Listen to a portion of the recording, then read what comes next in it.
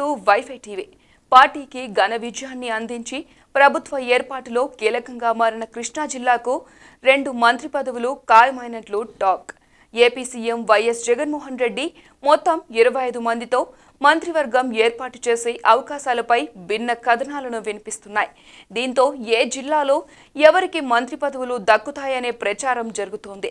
కృష్ణా జిల్లా నుంచి పరిశీలిస్తే ఇద్దరి పేర్లు మాత్రం ఖరారయ్యాయంటున్నారు వైసీపీ వర్గారు జగ్గైపేట నుంచి గెలుపొందిన సామినేని ఉదయబాను గుడివాడ నుంచి గెలిచిన కొడాలి శ్రీ వెంకటేశ్వరరావులకు మంత్రి పదవులు ఖాయమని పార్టీ వర్గాల్లో జోరుగా ప్రచారం సాగుతోంది.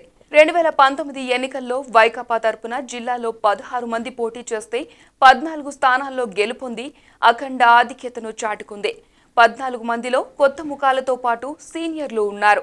సీనియర్లకు పట్టం కట్టనున్నట్లు ప్రచారం సాగుతోంది. వీరిలో గుడివాడ జగ్గైపేట బెర్తులు ఖరారైనట్లు చెబుతున్నారు. గుడివాడ నియోజకవర్గం నుంచి కొడాలి శ్రీ వెంకటేశ్వరరావు నాలుగోసారి విజయం సాధించారు. గత ఎన్నికల్లోని హ్యాట్రిక్ రికార్డు నమోదు చేసిన ఆయన నాలుగోసారి విజయం సాధించి తిరుగులేదనిపించుకున్నారు. జిల్లాలో సీనియర్ ఎమ్మెల్యేగా ఉన్నారు. రెండు వేల నాలుగు రెండు వేల తొమ్మిదిలో తెలుగుదేశం పార్టీ తరపున పోటీ చేసి గెలుపొందిన నాని తర్వాత వైసీపీలో చేరారు. రెండు వేల పద్నాలుగు రెండు వేల పంతొమ్మిదిలోనూ విజయం సాధించారు. నియోజకవర్గ ప్రజలకు అందుబాటులో ఉంటారు.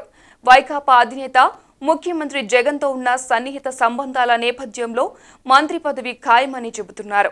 జగ్గైపేట నియోజకవర్గం నుంచి సామినేని ఉదయబాను మూడోసారి ఎమ్మెల్యేగా గెలిచారు.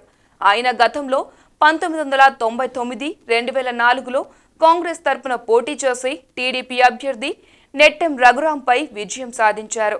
రెండు వేల తొమ్మిది రెండు వేల పద్నాలుగులో కాంగ్రెస్ వైసీపీ తరఫున పోటీ చేసి ఓడిపోయారు. గతంలో ఉన్న అనుభవం అనుబంధం సామాజిక సమీకరణ నేపథ్యంలో ఆయనకు మంత్రి పదవి ఖాయమని పార్టీ వర్గాలు పేర్కొంటున్నాయి.